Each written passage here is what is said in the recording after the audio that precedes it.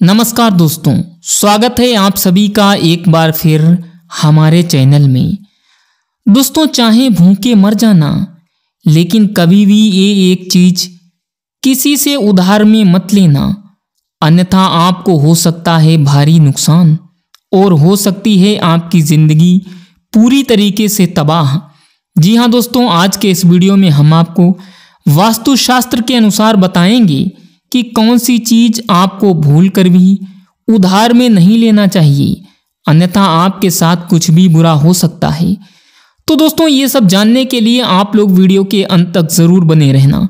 जानकारी पसंद आए तो लाइक करें, चैनल पर नए हो तो चैनल को सब्सक्राइब करके बेल आइकन को प्रेस करें। चलिए अब शुरू करते हैं आज का इंटरेस्टिंग वीडियो। दोस्तों, आज के इस वीडियो में हम आपको एक ऐसी चीज़ के बारे में बताने वाले हैं जिसके बिना भोजन की कल्पना करना भी मुश्किल है। जी हाँ दोस्तों, आज के वीडियो में हम आपको बताने वाले हैं नमक के बारे में। दोस्तों, नमक बहुत ही उपयोगी है। इसे तंत्र मंत्र ज्योतिष और वास्तु में बहुत अहम दर्जा दिया गया है। नमक के टोटके और उपाय कारगर नतीजे देते हैं। वहीं नमक को लेकर कुछ मान्यताएँ भी हैं, जिनकी अनदेखी कई तरह के नुकसान करवाती है। मित्रों, धन की देवी माँ लक्ष्मी नाराज़ हो जाती है, जो जीवन में कई समस्याओं का कारण बनता है। दोस्तों, आप लोगों ने सुना होगा कि ये आम धारणा है कि नमक किसी से मुफ़्त में नहीं लेना चाहिए और ना ही देना चाहिए। शाम के समय तो नमक का दान करना या उधार देना माँ लक्ष्मी को नाराज़ कर देता है। मित्रों, इसके अलावा नमक फेंकना या बर्बाद करना भी बहुत अशुभ माना जाता है। इसके पीछे कुछ महत्वपूर्ण कारण भी हैं। आइए जानते हैं दोस्तों। कई बार पड़ोसी एक दूसरे से किचन की चीज़ें उधार मांग लेते हैं और बाद में लौटा देते हैं।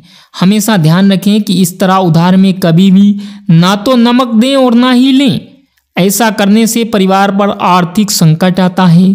धन हानि होती है और इससे घर में नकारात्मकता बढ़ जाती है।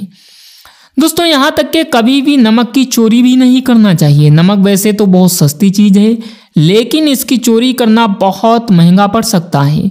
बिना पैसे दिए किसी का नमक आप कभी भी ना लें, वरना आपको ये नुकसान पहुँचा सकता है। वहीं दोस्तों, नमक की बर्बादी करने से भी कई तरह की मुसीबतें झेलनी पड़ सकती हैं। नमक का संबंध धन, भौतिक सुख देने वाले शुक्र ग्रह से जोड़ा गया है। नमक बर्बाद करने या फेंकने से शुक्र कमज़ोर होता है।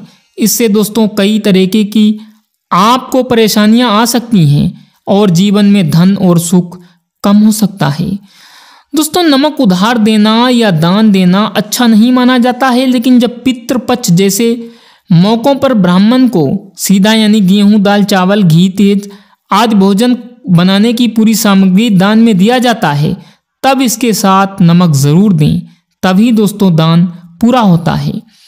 दोस्तों, नमक का सही तरीके से उपयोग करें और इससे घर की निगेटिविटी दूर करें। इसके लिए हफ़्ते में एक बार पानी में नमक डालकर घर में पोछा अवश्य लगाएँ। साथ ही घर के वास्तु दोष दूर करने के लिए बाथरूम में एक कटोरी में नमक भरकर रख दें और इसे हर हफ़्ते बदलते रहें। तो दोस्तों, ये थी नमक से संबंधित वास्तुशास्त्र के अनुसार बहुत ही महत्वपूर्ण जानकारी। जानकारी कैसी लगी हमें कमेंट बॉक्स में ज़रूर बताइए। मैं मिलता हूँ अगले वीडियो में, तब तक के लिए good bye thanks for watching my video